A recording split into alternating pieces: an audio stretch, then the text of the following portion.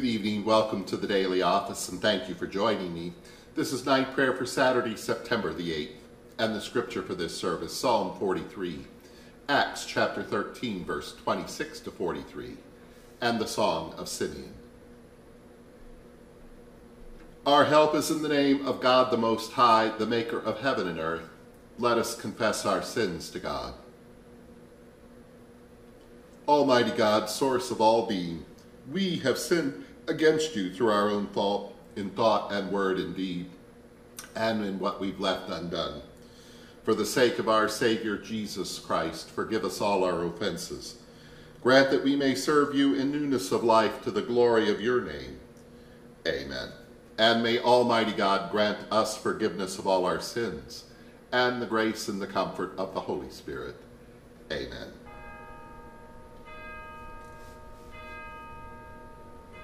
O God, come to my assistance, make haste to help me.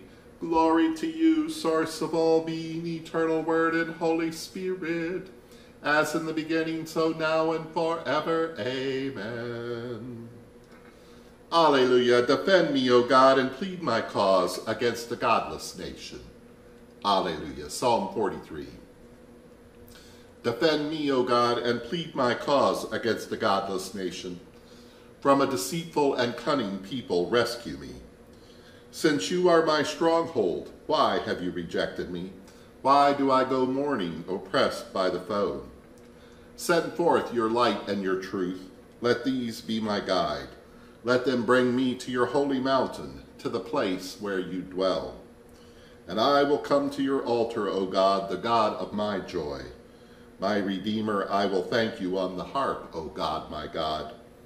Why are you cast down, my soul? Why groan within me?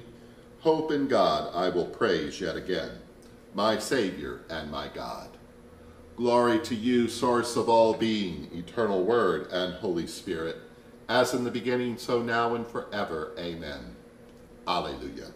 Alleluia. Defend me, O God, and plead my cause against a godless nation. Alleluia.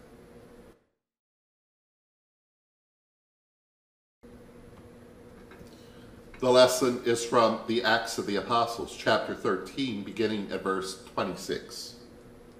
Paul said, My brothers, you descendants of Abraham and others who fear God, to us the message of this salvation has been sent, because the residents of Jerusalem and their leaders did not recognize him or understand the words of the prophets that are read every Sabbath they fulfilled those words by condemning him. Even though they found no cause for a sentence of death, they asked Pilate to have him killed. And when they had carried out everything that was written about him, they took him down from the tree and laid him in a tomb.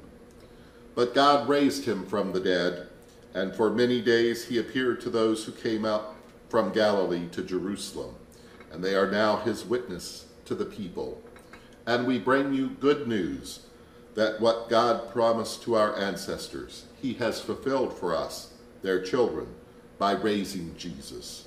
As also it is written in the second psalm, You are my son, and today I have begotten you.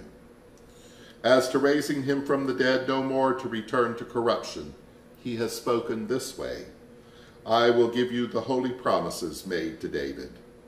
Therefore, he has also said in another psalm, You will not let your Holy One experience corruption. For David, after he had served the purpose of God in his own generation, died and was laid beside his ancestors and experienced corruption. But he whom God raised up experienced no corruption. Let it be known to you, therefore, my brothers, that through this man forgiveness of sins is proclaimed to you. By this Jesus, everyone who believes is set free from all those sins, from which you could not be freed by the law of Moses. Beware, therefore, that what the prophet said does not happen to you. Look, you scoffers, be amazed and perish, for in your days I am doing a work, a work that you will never believe even if someone tells you.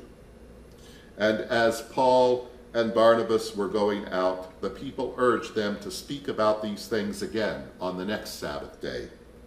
And when the meeting of the synagogue broke up, many Jews and devout converts to Judaism followed Paul and Barnabas, who spoke to them and urged them continue, to continue in the grace of God.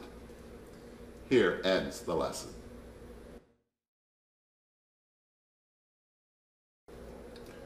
Into your hands I commend my spirit, for you have redeemed me, O God of truth.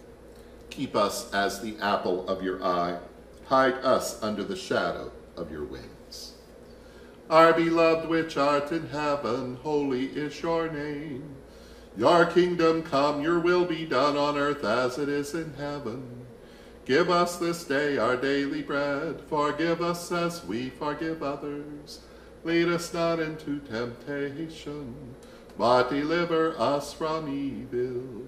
For the kingdom, the power, and the glory are yours, now and forever.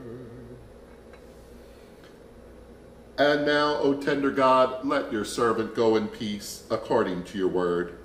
For my eyes have seen the salvation which you have prepared before the face of the nations to be a light to lighten the Gentiles, and to be the glory of your people, Israel.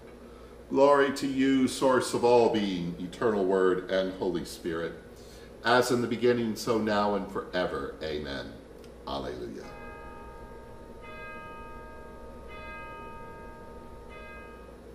Alleluia, O tender God, you have seduced me, and I was seduced.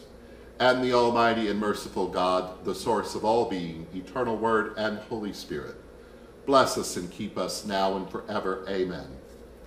Alleluia.